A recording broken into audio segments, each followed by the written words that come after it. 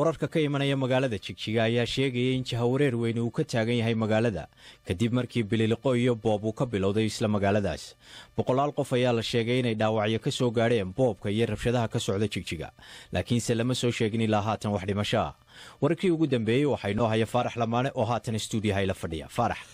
Axmedow maantay dadka reer jigjiga waxay u ahayd maalin madow mushkiladda waxaa la sheegay inay bilaabatay saaka sideeddii markaasoo xubnaha baarlamaanku ay iska xaadiriyeen xarunta baarlamaanka si ay uga qayb galaan kulan uu baarlamaanku halkaa ku yeelan lahaa oo aan caadi ahayn. Ilaa iyo inta aan ognahay mushkiladaas aan ka ognahay waxa ay tahay in saaka lagu waabariistay askar militari ah oo xiray baarlamaanka iyo xarumo kale oo dowlad deegaanka soomaalida etoobiya ay leedahay. Ciidankaas ayaa markii dambe waxa ay lug ku soo mareen waddada weyn ee halbowlaha u ah jigjiga waxaana ay iska hor yimaadeen dadkii magaalada oo caraysan kuwaasoo burar iyo dhagxaan ku bilaabay. Kadibna ciidankii waa uu kala cararay.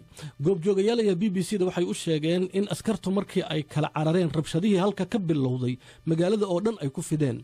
Waxaa kaloo goobjoogayaashu ay sheegeen in la bartilmaameedsaday hantida dadka soomaalida aan ahayn ee jigjiga ku nool kuwaasoo iyagana naftoodii la cararay.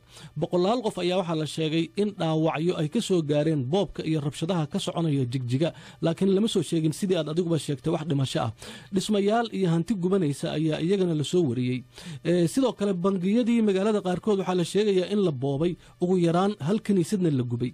Madaxweynaha dowlad deegaanka soomaalida etoobiya cabdi maxamuud cumar ayaa waxaa isna la soo sheegay inuu ku sugan yahay xarun ay ciidanka liyu boolis ku leeyihiin.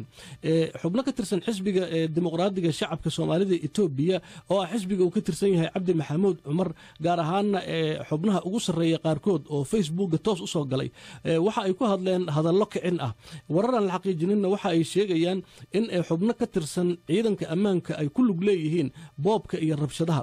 Wakhtigan marka aan soo koobno warka wakhtigan la joogo magaalada jigjiga waxay u muuqataa in sharcigii iyo kala dambayntii ay meesha ka baxeen oo magaaladu ay ku jirto xaalad fawda ah. Aad iyo aad buu mahadsan yahay faarax lamaane oo inoo soo koobayay haatan sida ay tahay xaaladda magaalada jigjiga wixii warare ee ka soo korra dhegaystayaal iyo xaaladdu kolba sida ay tahayna. Idaacadaha iyaga dambe iyo intaanu tan hawada ku jirnaba. Wixii soo kordha waanu idinla soo socodsiin doonaa